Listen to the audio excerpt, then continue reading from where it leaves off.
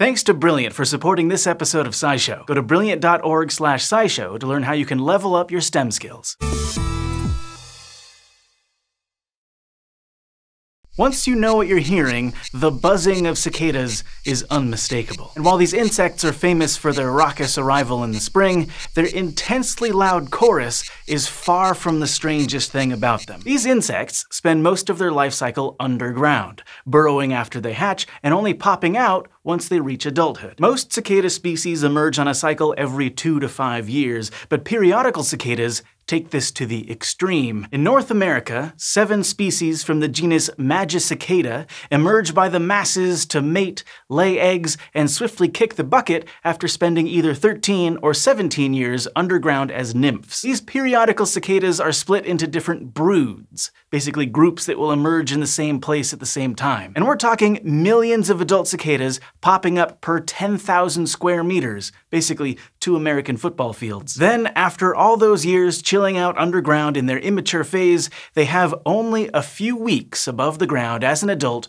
before they die. And even after mulling it over for about 350 years, we're still not quite sure how and why these insects evolved such an incredibly long childhood. Some suggest it might have evolved through competition between nymphs underground or interactions with long-lived insect parasite enemies. Other researchers think these long childhoods emerged in response to the Pleistocene Ice Age, when the climate was less than ideal and adults were likely few and far between. It could also be that by emerging so briefly and infrequently, periodical cicadas keep predators from fully taking advantage of the population booms. The fact that their life cycles are specifically 13 and 17 years long could also help with this. That's because they're both prime numbers, numbers that can't be divided equally by any number other than 1 and themselves. Predators tend to have population cycles where their numbers fluctuate every few years, but their cycles tend to be 1 to 10 years long, which won't reliably sync up with those awkward prime numbers that govern the cicada's lifetimes. The cicada's life cycles could even make things worse for their predators. Research has shown that the populations of insect-eating birds are actually lower in emergence years, which is kind of strange since there's so much food. As you might expect,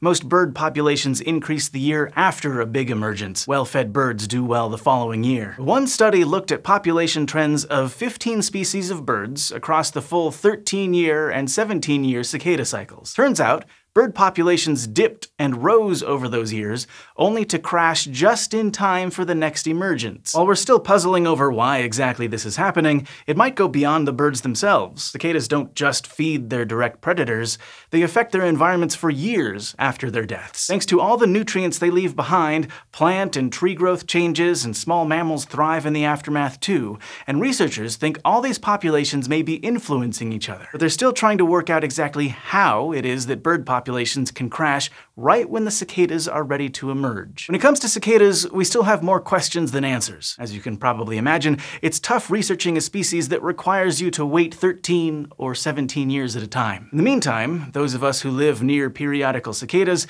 can enjoy the ear-splitting shrieks of millions of bugs looking for a mate. Cicadas are an example of how mathematical thinking can yield insights into biology. I mean, who knew prime numbers might throw off predators? And if you want to flex your math muscles, you might enjoy a course from Brilliant, like number theory, if you really want to master those prime numbers. Brilliant courses are also available offline using their iOS and Android apps, so if you're traveling or have a spotty internet connection, you'll be able to keep learning. And if you sign up at brilliant.org slash scishow, you'll get 20% off an annual premium subscription. So thanks for your support.